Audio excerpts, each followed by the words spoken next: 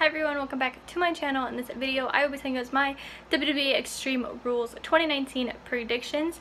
Um, I do, before I start, I do want to say that, y'all, if I look like I'm off, I probably am because I'm really not feeling good, but I know I missed the last two pay-per-views and I didn't want it to keep just getting repeated and stuff, but like, you know, I am here giving you guys my predictions. Okay, that's what matters.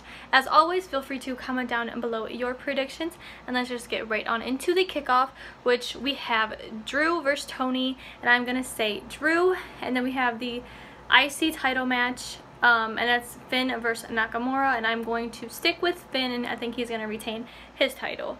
Then we have Kevin Owens going up against Dolph Ziggler, and I'm gonna say Kevin Owens for the win. Then we have Aleister Black going up against Cesaro, and I think, I think Aleister is gonna win. I feel it, okay?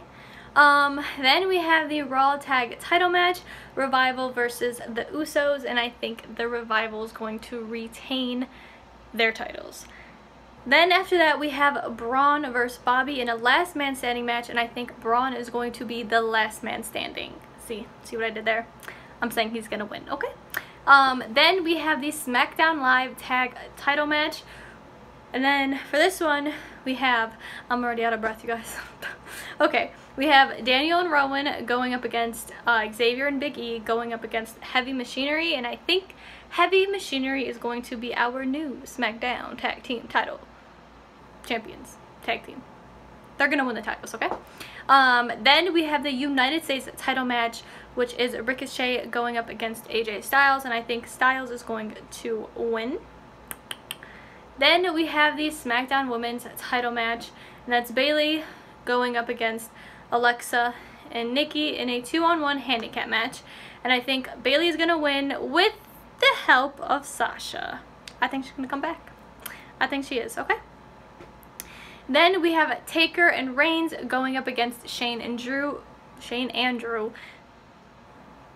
I don't know what I just said, but it's fine. Um, in a no holds barred match, and I think Taker and Reigns are going to win. Then we have Seth and Becky going up against Baron and Lacey in a winner take all mixed tag extreme rules match. Okay, um, and I think Seth and Becky are going to win and retain their titles. And then finally we have the WWE Championship. Kofi, like he's not the championship, but like it's for the championship, okay? It's Kofi against Samoa Joe, and I think Kofi is going to win.